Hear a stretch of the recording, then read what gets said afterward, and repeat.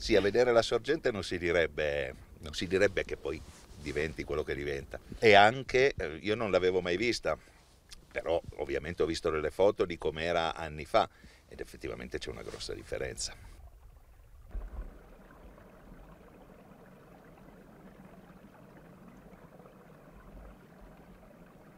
La prima cosa che mi viene in mente da dire è triste.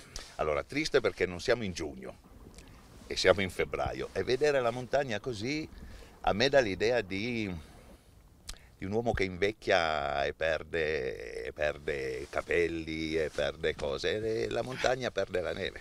Certo, solo che l'uomo li perde per la natura e la natura li perde per l'uomo.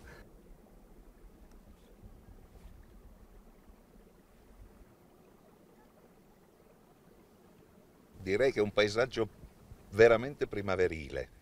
Questo è bello per noi, per noi che, che, che, veniamo qui a camminare, è carino.